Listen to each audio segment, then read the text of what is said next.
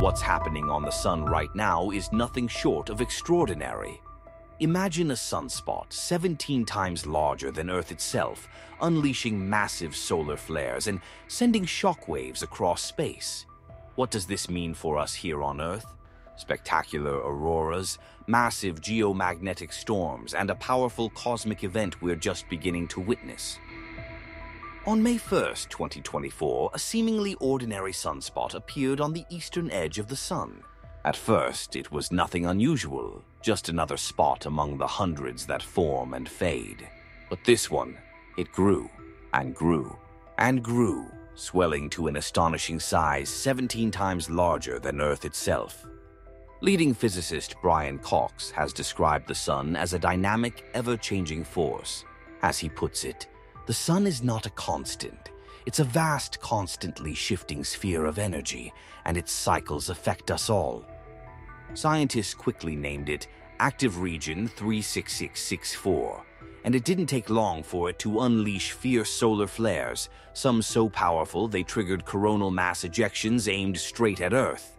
The result? One of the most dazzling aurora displays in recorded history, lighting up the skies in places where auroras had never been seen before. And NASA confirmed it. This was the most powerful geomagnetic storm in 500 years. But the sun didn't stop there.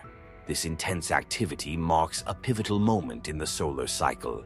The sun's magnetic field has flipped, and we have officially entered the solar maximum, the peak of the solar cycle.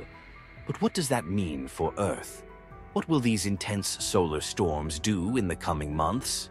Let's dive into the science behind this dramatic event and see how it impacts our planet, how it could affect our technology, our climate, and even our daily lives. Every 11 years, the Sun undergoes a dramatic transformation, known as the solar cycle. Sunspots appear, solar flares erupt, and the Sun's magnetic field flips. It's a pattern that astronomers have been tracking for centuries, and now we're in solar cycle 25, the most active solar cycle in over two decades. The solar maximum means more than just beautiful auroras.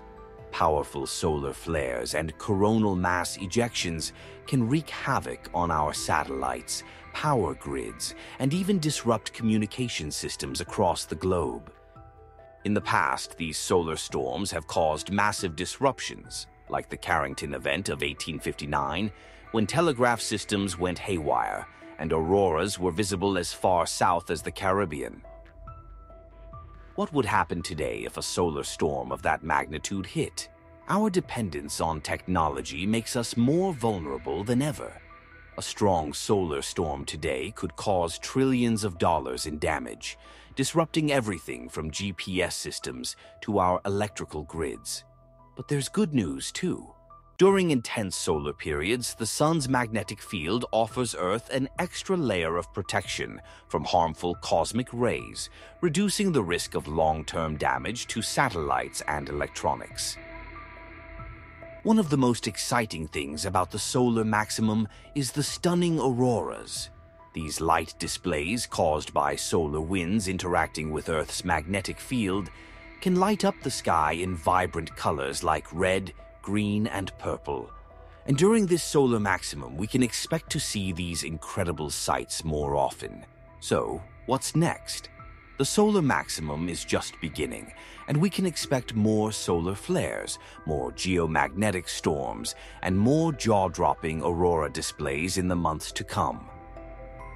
Thanks for watching. Be sure to subscribe and hit that notification bell so you don't miss any of the awe-inspiring solar events coming our way.